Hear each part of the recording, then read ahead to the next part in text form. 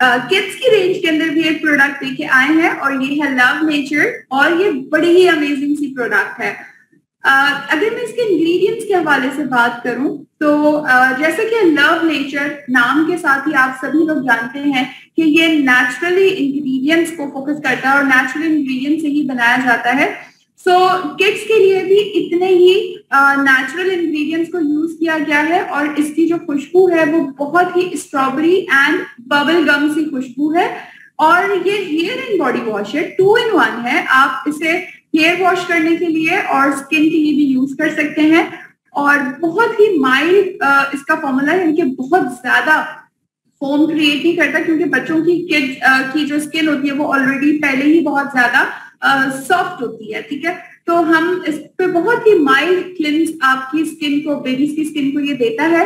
और इम्पोर्टेंट बात ये कि ये पैराबिन फ्री है। इसके अंदर किसी किस्म की आर्टिफिशियल चीज़ें ऐड नहीं हुई सिलिकॉन्स एडेड नहीं है। एंड इंपॉर्टेंट बात बात ये कि ये डर्माटोलॉजिकली टेस्टेड है क्योंकि हम बच्चों के ऊपर स्पेशली बहुत ज़्यादा ख्याल रखते हैं ऐसी प्रोडक्ट्स यूज़ करने से परहेज करते हैं।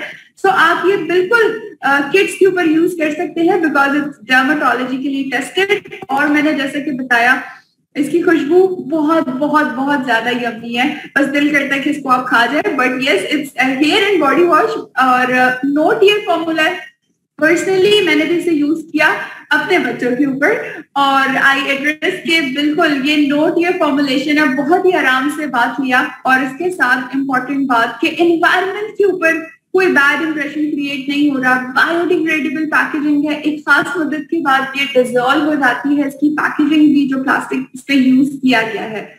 तो ऑर्गेनिक चीज़ है। हम अपने बच्चों के ऊपर बहुत ही आसानी से यूज़ कर सकते हैं इस प्रोडक्ट के साथ।